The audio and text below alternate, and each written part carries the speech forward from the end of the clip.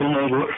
الآن يعني كما هو معلوم يعني واقعنا الآن هناك في الكويت وأيضا بصورة صريحة لأن الدين يعني دين الله تبارك وتعالى ليس فيه شيء يخفى وشيء يظهر الله عز وجل وصف أنبياء بأنه يعني إني لكم رسول مبين أنه يبين للناس ما جاء به يعني. فالآن الأمر عندنا هناك أن يعني التنظيم بالصورة التي يعني لكم عندنا حاصل. لكن يتفاوت حصوله من مكان إلى آخر بناء على طواعية الشباب والموجودين في المنطقة لهذه الأفكار من عدم طواعية طواعيتهم لها. فيوجد بعض المناطق يعني مثلا لا يعرفون شيء عن مثل هذه الأمور يعني حقيقة كيف تجري في يعني يعني أروقة الجمعية وكذا. لكن ما عندهم منهجهم وماشيين في طريقتهم طلب العلم وكذا وناتجهم ومحصلاتهم كلها تصب في الكيس اللي هو يعني الأكبر اللي هو التنظيم نفسه. فإيش نصيحتك يا شيخنا بالنسبة يعني لواقع الإنسان يعني الآن في الكويت في مثل هذه الأوضاع؟ هل يعني يعني مثلا يغض يعني الطرف مثلا عما هو واقع ما يراه يعني مخالف للدليل؟ نسبيا عناية بالمصلحة من أجل القرب من الشباب ومن أجل مخالطتهم وكذا؟ أم أنه يعني يعني يجعل ما يرى أنه الحق وبالتالي ينحى وممكن يطلق عليه لفظ أو لفظين كان يقال له جيرماني مثلا ثم بعد ذلك تفرق أوراقه في الساحة. نقول لا يجوز للمسلمين أن يتفرقوا وأن يتنابذوا وثانيا يجب على كل مسلم عرف الحق أن يصدع به وثالثا أن يكون صدره به على آه، مبدأ الإسلام المعروف آه، ويهديهم بالتي أحسن. رابعا ولعله أخيرا كن عبد الله مظلوم ولا تكن عبد الله الظالم كما يقول هم عنك ظالمون لك تكن أنت ظالما لهم هذا الذي أنا أنصح به. لأن الحقيقة قرأت في ترجمة الإمام الشافعي رحمه الله أنه تناقش مع أحد العلماء في مسألة فاختلف بعد يوم أو أكثر؟ لقيه. فجاء إليه وسلم عليه وصافحه وقال له ألا تريد أن نبقى متوادين متحابين من خلاف مسألة؟ واعتبر هذا منقضة بحقه للإمام الشافعي. وهكذا فلا ينبغي أن يزداد المسلمون آه، فرقة أو تفرقا بسبب الاختلاف في مسألة أو في مسائل ما دام أنه يجمعهم الأصل الأول هو الكتاب والسنة وهذا ما كان عليه السلف الصالح. أخوي عبد الرحمن أنا كنت أعرفه جيدا وحين أقول كنت أقولها مشيرا إلى شيء.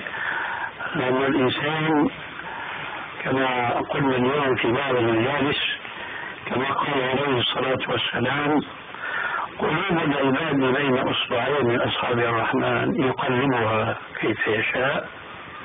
ولذلك كان عليه السلام يكثر أن يقول يا مثبت القلوب ثبت قلبي على دينك وطاعتك.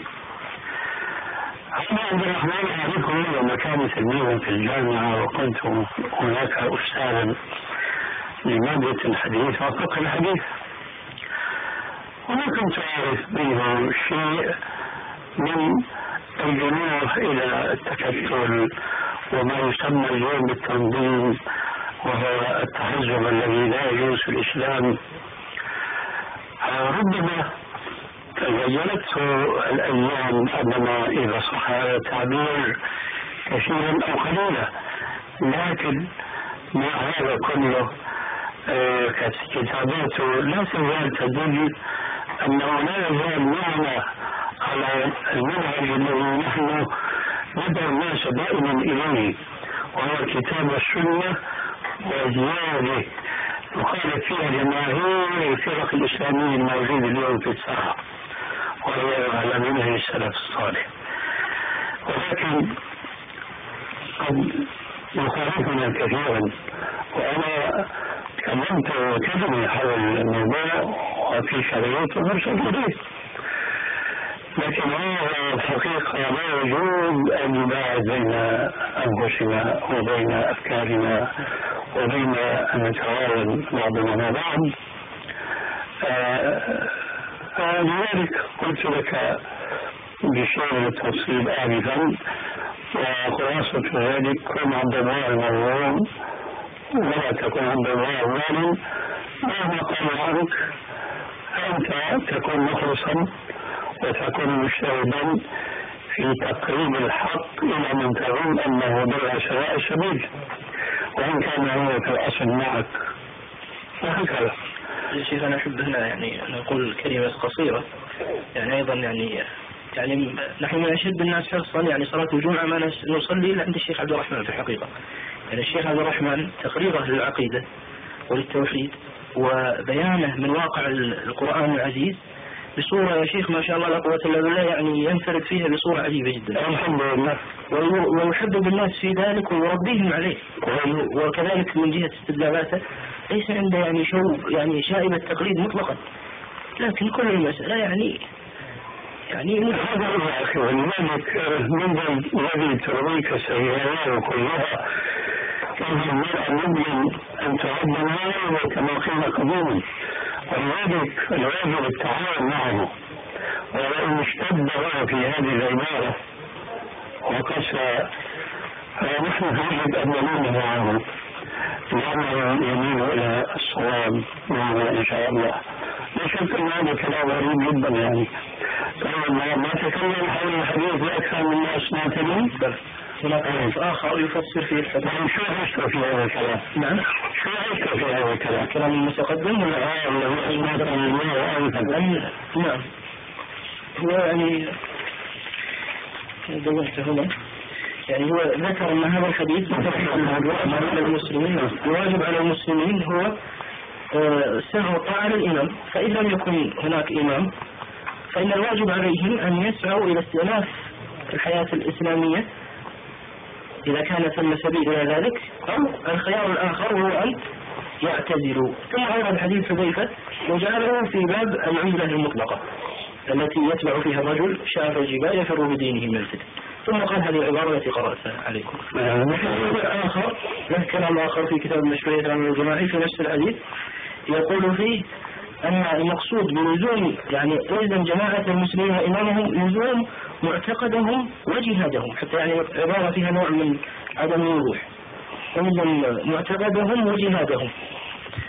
يعني يقول أن ليس المقصود بلزوم الجماعة هنا لزوم لزوم يعني الإمام نفسه لكن لزوم فقهه واجتهاده وليس اللزوم هذه وجد يقول آه كما قال صلى الله عليه وسلم يد الله على جماعة ويقال جماعة المسلمين لكل من اجتمعوا على إمام في زمن ما. كما قال صلى الله عليه وسلم لحذيفة بن اليمان في حديث الفتن الطويل الزم جماعة المسلمين وإمامهم. وليس اللزوم هنا لزوم معتقدهم ودينهم وإنما اللزوم لزوم جهادهم وفقههم.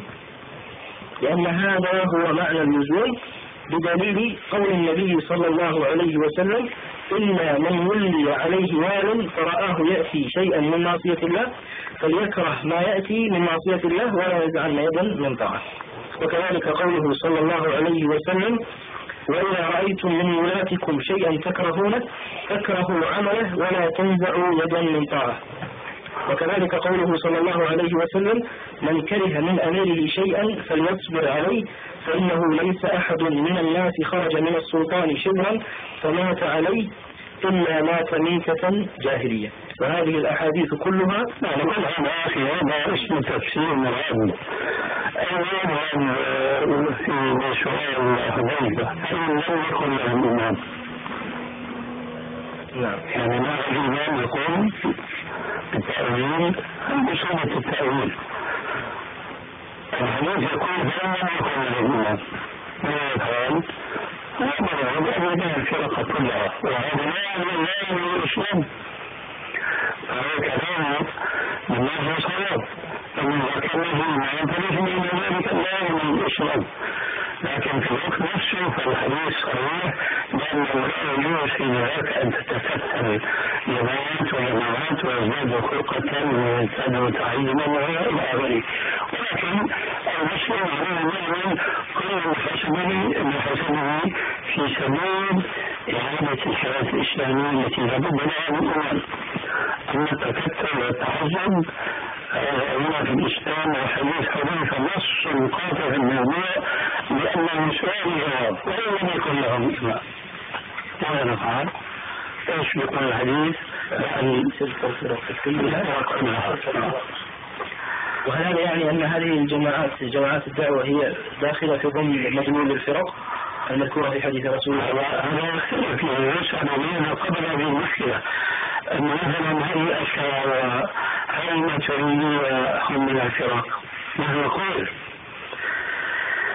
أولا لا يجوز أن يطلق الكلام على كل من انتمى إلى مذهب بأنه لاجم أو هالك فردا فردا وإنما أنه ينظر إلى منهج ثم وجدنا منحرفا عن المنهج لا نستطيع أن نقول لكل أو عن كل من حاد عن المنهج الصحيح إنه في النار لأننا نعتقد جميعا أن بعض الكفار وليس بعد الكفر ذنب كما هو معلوم المبدأ العام قوله تعالى في القرآن إن الله لا يغفر أن يشرك به ويغفر ما دون ذلك لمن يشاء. ولكن قد يكون كافرا ما أكثر من كافر عند الله معذورا. فحسابه عند الله عز وجل لكننا نقول هذا كافر. إذا رأيناه كفر.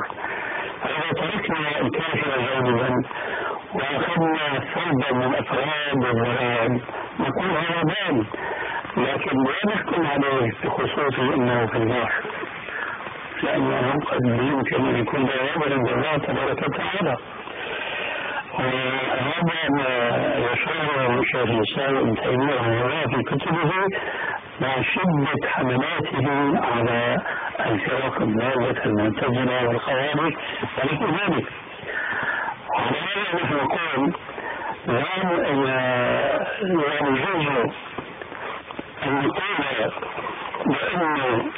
الجماعة الفلانية أو الجماعة الفلانية هي من الفرق الضالة وبخاصة إذا تبنت المنهج الذي يدعو إليه الله به ولكن خالف في بعض الجوانب في أسلوب الدعوة أو في فهمه لبعض النصوص من الكتاب والسنة فهذا لا ينبغي من الإنسان.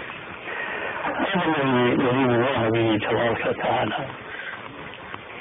كلمتكم يا شيخ اللي أشرتم إليها في كلامكم أنكم أرسلتم إليه رسالة أنا استمعت إليها.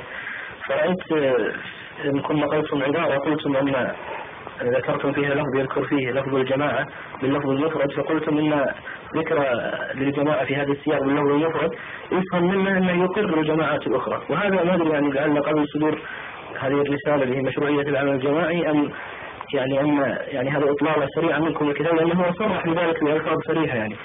في مواضع أخرى. النقل من الشيخ كان عن المسلمون العمل السياسي قبل هذه الرسالة. قبل لا تطلع الرسالة. نعم. اي نعم. بالعذر لأن أنا استغربت لأن هذه الرسالة فيها عبارات نعم. يعني صريحة واضحة. يعني في تعدي جماعات الدعوة ولا هذا من أبعد ما نعم. هو المراد. يعني هذا أنت تمتلك تمتلك نصوص صريحة أيوه بل إن لتعدد جماعات الدعوة والجهاد من المزايا أضعاف من التعدد من المساوئ. الله المستعان نسأل الله لنا ولا بالنسبة للحديث